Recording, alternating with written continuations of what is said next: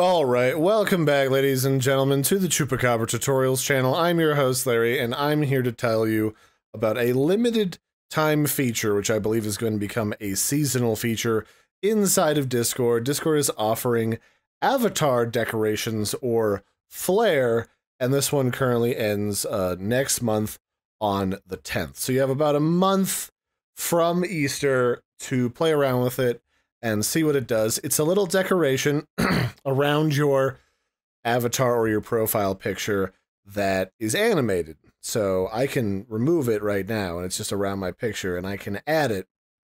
And they have a d- few different variations of it. You've got the cherry blossoms because right now is the cherry blossom season for like cherry blossom festivals and all of that. You can also have like a mushroom cap on that has blinking eyes. It comes in a bunch of different colors. You can have a little uh it's almost like a tadpole fern thing going on that's like animated. You can have a frog that's got different expressions that are animated. You can have a lazy cat literally melting over the top of your profile, or you can have a bunny that twirls round and round and round. I kind of like this cherry blossom one. I think I'll go with that.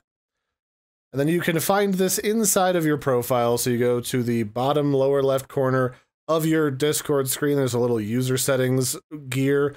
Click on that.